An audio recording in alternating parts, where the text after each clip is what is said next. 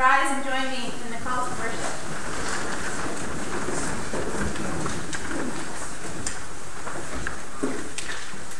Oh, come, let us sing to the Lord. Let us make a joyful noise to the rock of our salvation. Let us come into his presence with thanksgiving.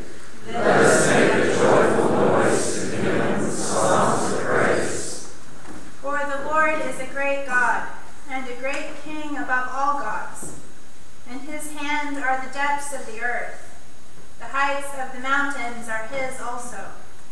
The sea is his, for he made it, and his hands formed the dry land. Oh, come, let us worship and bow down. Let us kneel before the Lord our Maker. For he is our God, and we are the people of his pasture, and the sheep of his hand. Let us pray.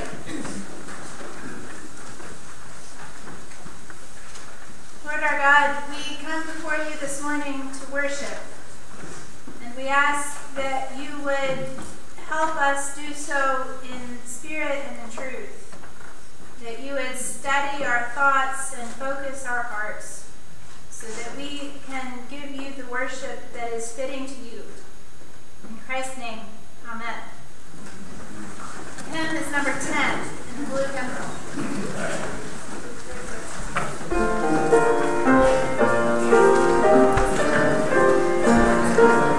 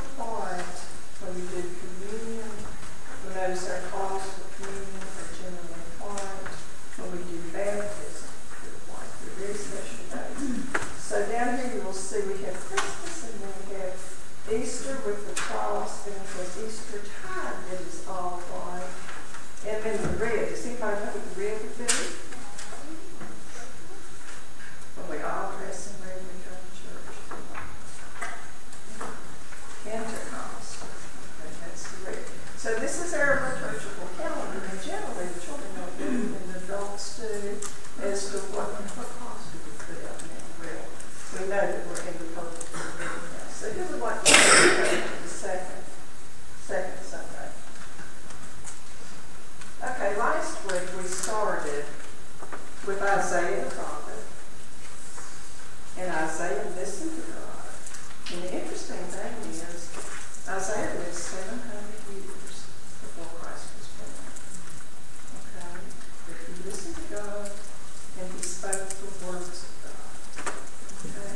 So Isaiah is the one that is helping to lead us down the road on our journey to Bethlehem. Now, today, Let's see what's in our basket today. You want to pull the card out of the basket and feed her the card? Let's see what's there today. It's our second Sunday in Advent. And who's on the floor today? Do you recognize these people? Who would have a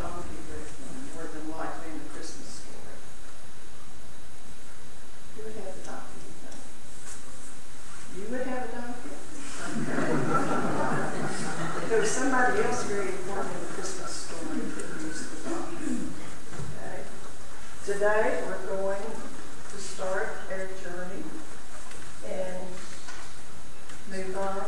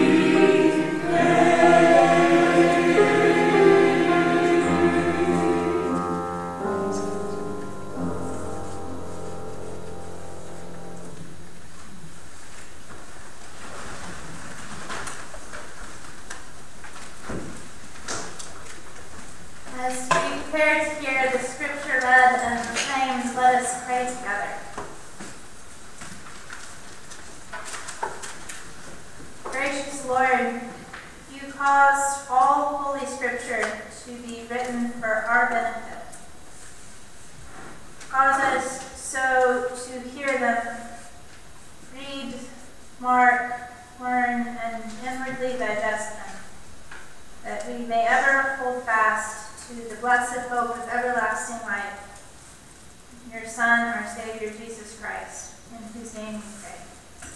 Amen. The Old Testament reading comes from the book of Malachi, chapter 3, verses 1 to 4. Hear the word of the Lord. See, I am sending my messenger to prepare the way before me. And the Lord whom you seek will suddenly come to his temple. The messenger of the covenant in whom you delight, indeed he is coming, says the Lord of hosts. But who can endure the day of his coming? And who can stand when he appears?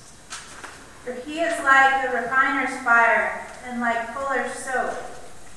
He will sit as a refiner and purifier of silver, and he will purify the descendants of Levi, and refine them like gold and silver, until they present offerings to the Lord in righteousness.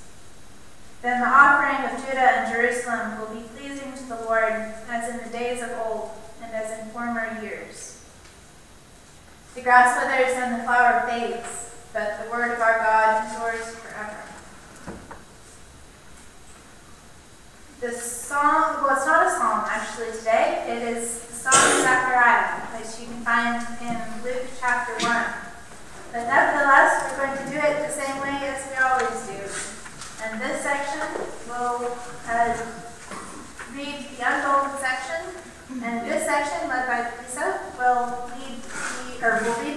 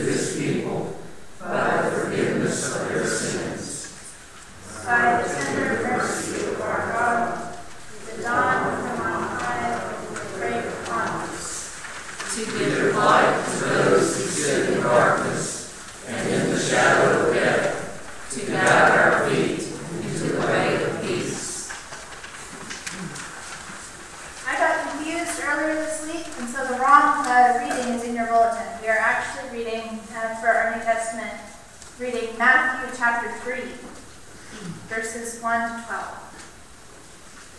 Again, hear the word of the Lord. In those days, John the Baptist appeared in the wilderness of Judea, proclaiming, Repent, for the kingdom of heaven has come near. This is the one of whom the prophet Isaiah spoke when he said, The voice of one crying out in the wilderness, Prepare the way of the Lord, make his paths straight. Now John wore clothing of camel's hair with a leather belt around his waist, and his food was locusts and wild honey. Then the people of Jerusalem and all Judea were going out to him and all the region along the Jordan, and they were baptized by him in the river Jordan, confessing their sins. But when he saw many Pharisees and Sadducees coming for baptism, he said to them, You brood of vipers, who warned you to flee from the wrath to come? Bear fruit worthy of repentance. Do not presume to say to yourselves, We have Abraham as our ancestor. For I tell you, God is able from these stones to raise up children to Abraham. Even now, the axe is lying at the root of the trees. Every tree, therefore, that does not bear good fruit is cut down and thrown into the fire. I baptize you with water for repentance, but one who is more powerful than I is coming after me. I am not worthy to carry his sandals. He will baptize you with the Holy Spirit and fire. His winnowing fork is in his hand, and he will clear his threshing floor, and will gather his wheat into the granary. But the chaff he will burn in unquenchable fire. This is the word of the Lord. Thanks be to God.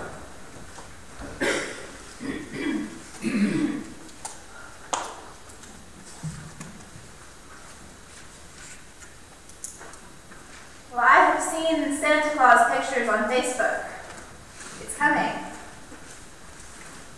Do you have your tree up yet, or your nativity scene? We're prepping for the open house at the manse, so we've got more than you can imagine. More garlands and candles and lights and you can shake a stick at. And the church is beautiful. We've got this gorgeous tree and the Mercedes and children are doing such a good job teaching us about the journey to Bethlehem.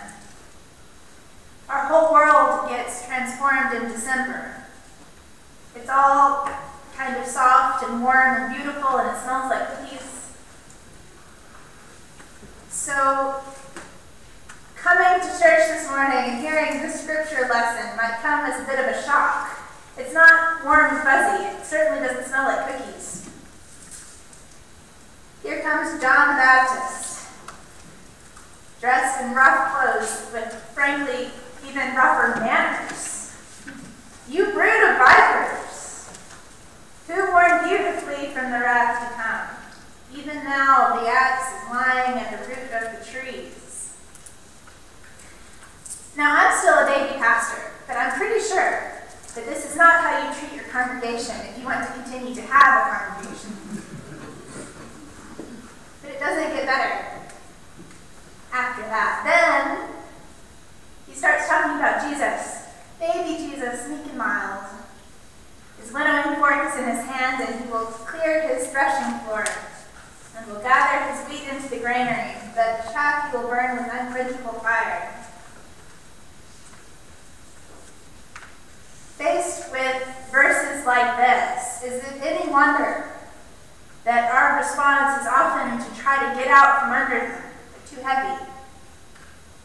It's tempting to just deny them. I recently, about a year ago, heard someone say uh, that the God described in these and similar verses of the Bible are simply not the God he knows and worships. Another popular approach is to suggest that the Bible is just a record of ancient human beings' understanding about God, and we know better now. One of my favorite theologians responds to these weasel attempts by saying that if you try this kind of thing, then you've given up the privilege of interpreting Scripture ever again.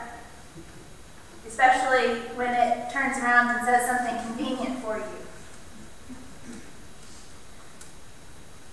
We who confess the Christian faith also confess that Scripture is not just a record of the religious understanding of ancient people, although it is that, but that by grace and the Spirit, it is also God's Word for us today.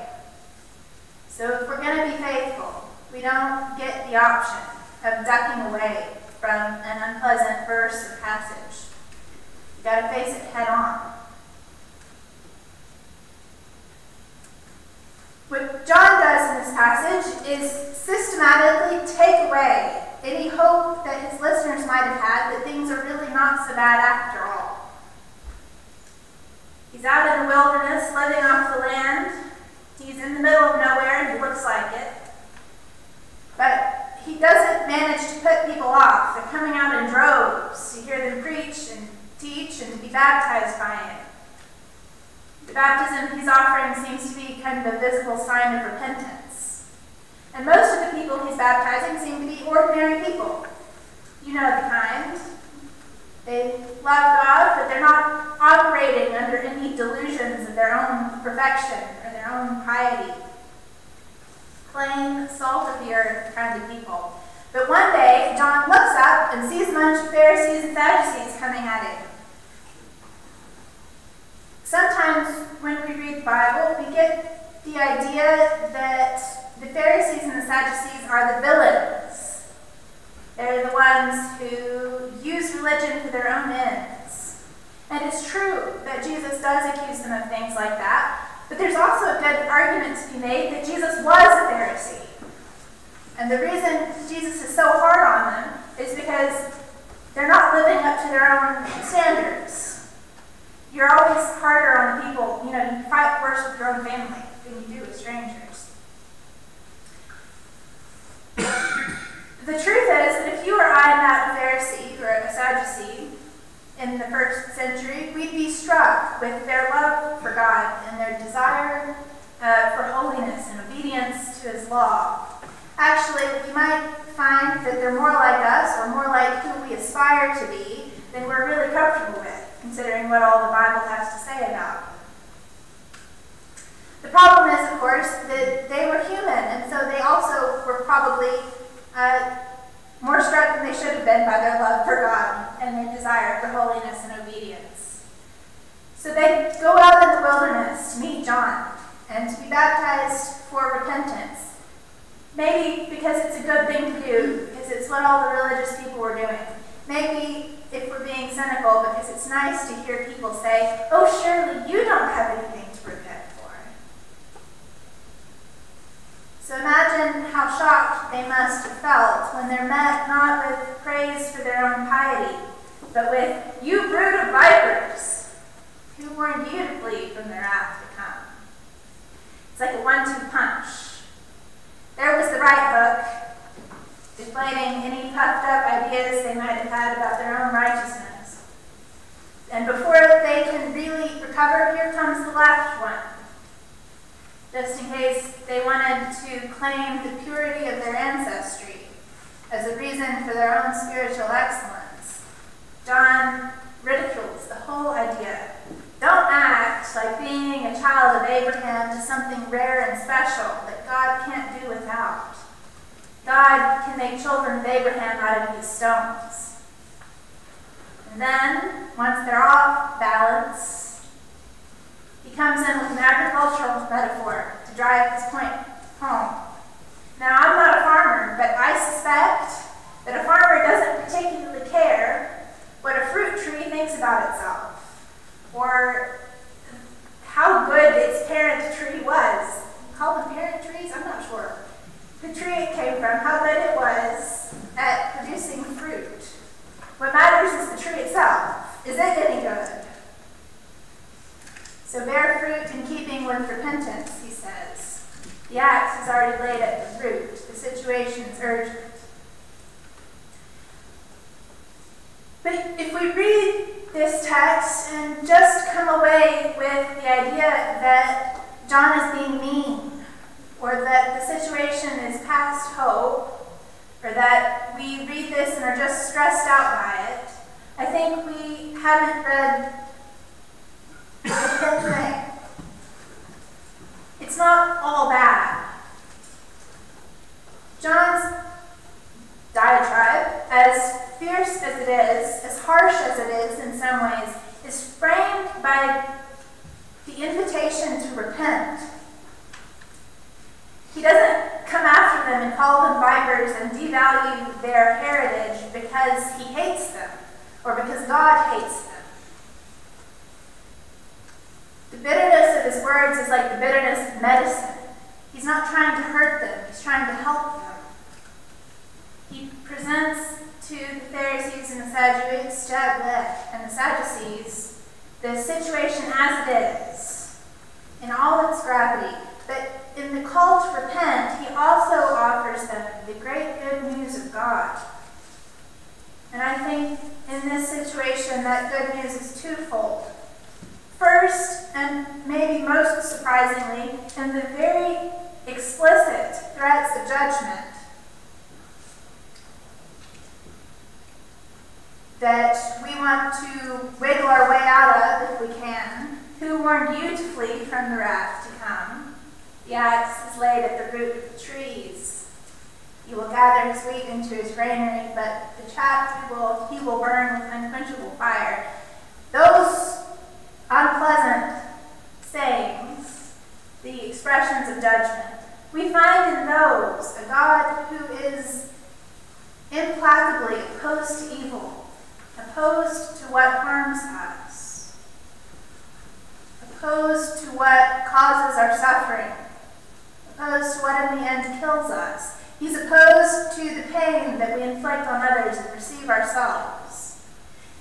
And because that opposition is God's opposition. The evil that he has made his enemy is certainly going to be destroyed. That's the first bit of good news, that God is not going to let evil win. And here's the second. In the call to repentance, we discover that even though none of us are completely free from evil, God has not made us his enemy. His desire and will that all evil should be destroyed, but it is not his will or desire that we should be destroyed along with it. The God who created the world and everything in it by the word of his power knew, you know, and he did not because he didn't create it because he needed it. He created it because he wanted to. And he knew before he created it that people were going to fall. He knew before he created the world that there was going to be evil in it. And he made it anyway. And long before creation, he decided what he would do to save us. That's the context in which John's invitation and command is issued. Repent, turn away from the evil that is hurting the world, that's hurting you, that's killing you, and instead live in the light of God's love. When I was growing up, I had the unfortunate idea that Sundays in Advent were uh, an opportunity for us to pretend that Jesus had not come yet, uh, and that Christmas was about pretending that Jesus had just been born.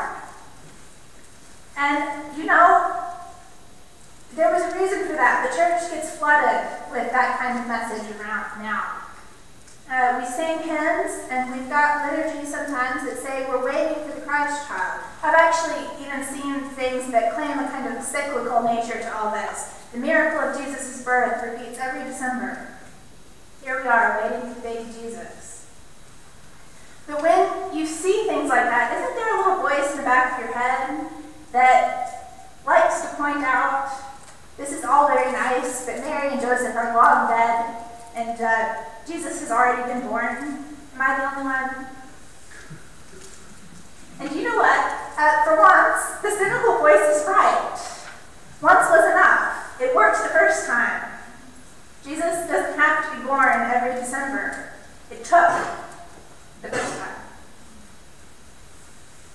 What we do do during Advent and during Christmas is to remember with joy and gratitude that God did not abandon us to the destructive power of our own sin.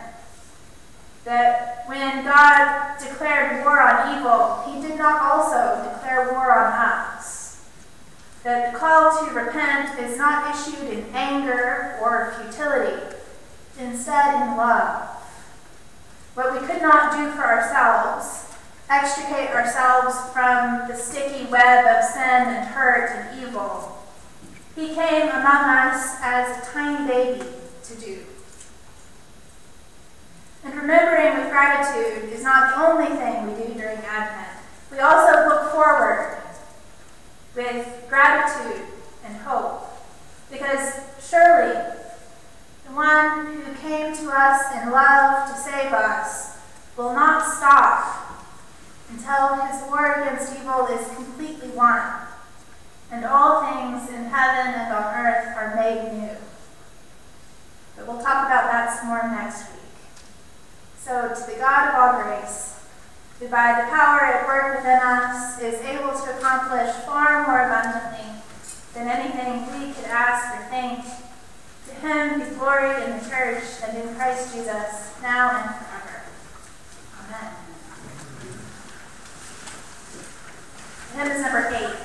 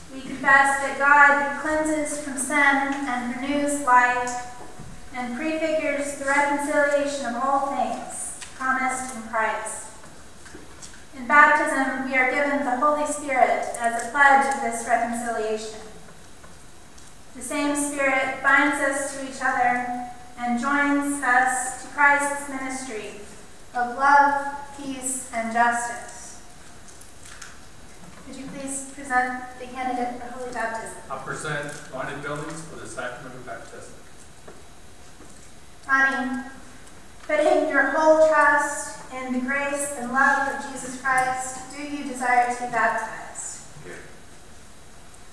Will you continue to walk with Ronnie in this new life in Christ? Will you with God's help? I will.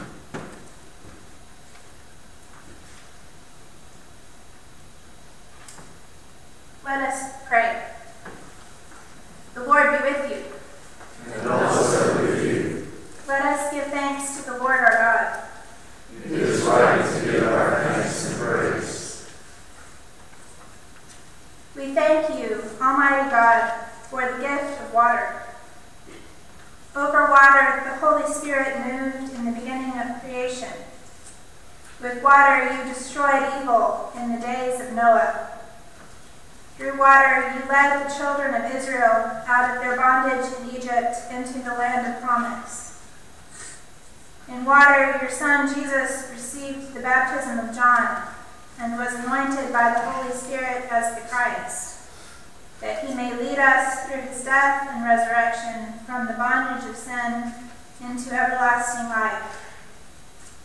We thank you, loving God, for the water of baptism. In it we are buried with Christ in his death. By it we share in resurrection. Through it we are reborn by the Holy Spirit. Therefore, in joyful obedience to your Son, we receive into the community of faith those whom you have called and justified. Pour out your Holy Spirit, that as Ronnie is made a new creation through these baptismal waters, he may preach good news to the poor, proclaim release to the captives, and set at liberty those who are oppressed. To Christ, to you, and to the Holy Spirit be all honor and glory, now and forever. Amen. I ask you to reject sin, profess your faith in the Lord Jesus Christ, and confess the faith of the church. Do you renounce Satan and all the spiritual forces of wickedness that rebel against them? If say, if so, say, I renounce them. Do you renounce the evil powers of this world which corrupt and destroy the creatures of God? I renounce them. I renounce. Do you renounce all sinful desires that draw you from the love of God? If so, I renounce them. I renounce. Do you renounce evil and its power in the world which defy God's righteousness and love? I renounce them. I renounce. Do you renounce the ways of sin that separate you from the love of God? Let us join with those who are to be baptized in professing the faith of the church. Please rise. Do you believe in God the Father Almighty? I believe in God the Father Almighty,